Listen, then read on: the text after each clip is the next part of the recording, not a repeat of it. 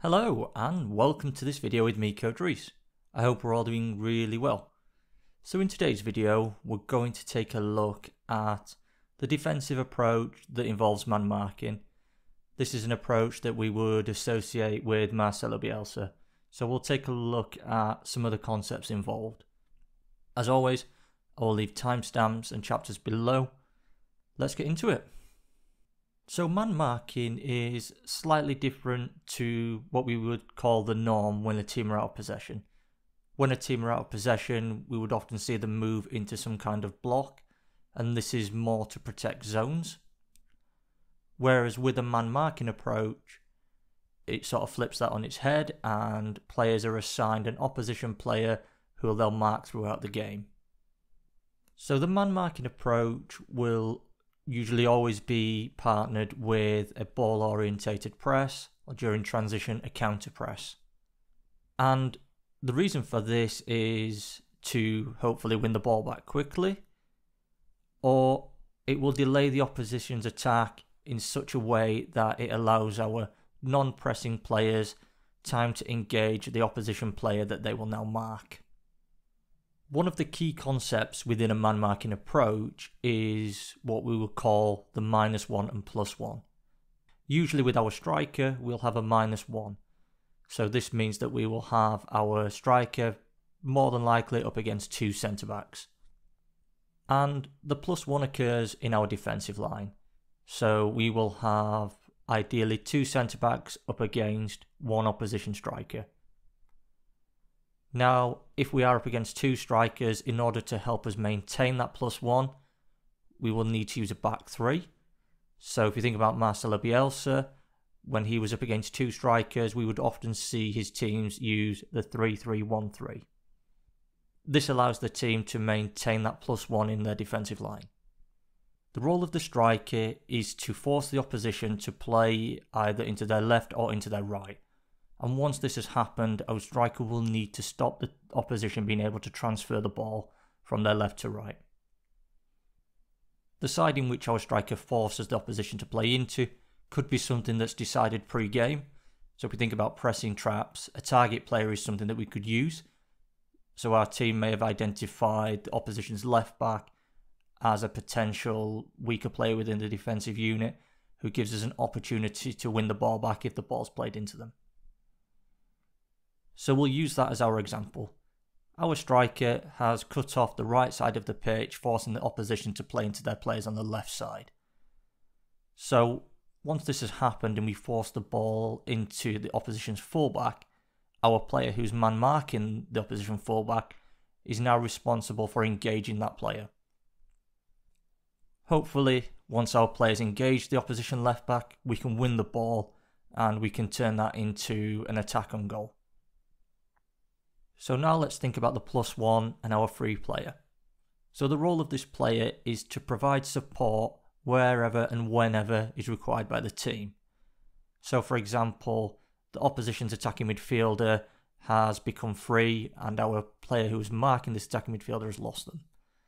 So now the opposition have a free player and it will fall on the responsibility of our centre back, who is our free player, to be prepared and ready to man mark that player to stop them potentially receiving the ball, or it can just give our player who should be marking them an opportunity to recover and pick their player back up.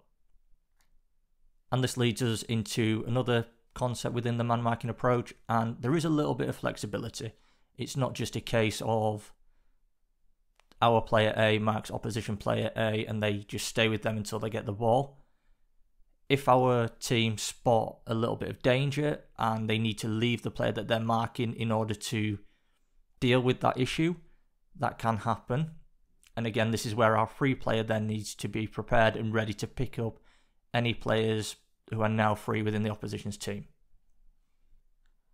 So if we compare the man marking approach to a zonal marking approach, there is potential for the man marking approach to be viewed as quite simplistic with a man marking approach, it's essentially our player A marks opposition player A, our player B marks opposition player B, and so on. Whereas with a zonal approach, a team may have a very different structure in their high block, a very different structure in their mid block, and a very different structure in their low block, and this can differ depending on certain conditions within the game. Because there isn't necessarily a definitive structure within a man marking approach, it can be quite easy for gaps to appear. So, for example, as the opposition midfielders are moving around, our midfielders are also moving around with them. Whereas in a zonal approach, we would see our midfielders just be protecting certain areas.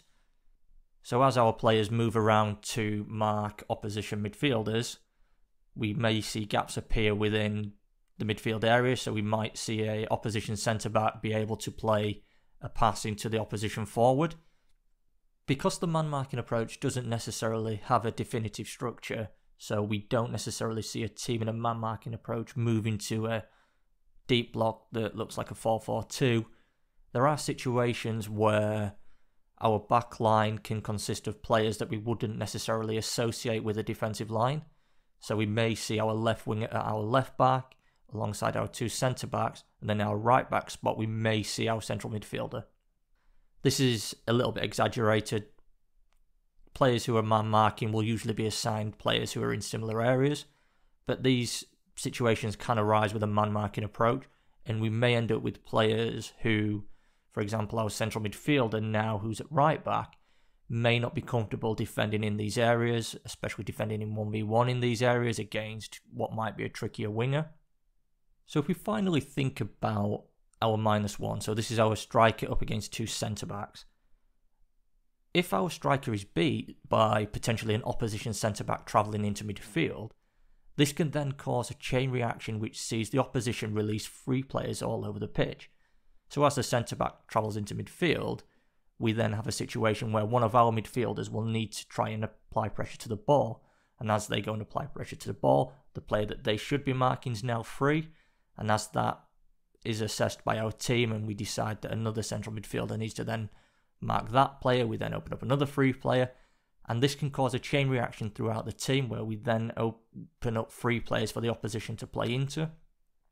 And this can cause quite a lot of issues. So today we've taken a look at the man marking approach. We've taken a look at what it is, what kind of things it's paired with, and we've taken a look at some of the concepts involved.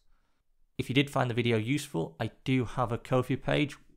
Um, thank you to those that have already used that to support me. The coffees have been put to really good use while I've been doing research and writing scripts. If you did enjoy the video, don't forget to like, comment, and subscribe. I've been Coach Reese, and I'll see you in the next one.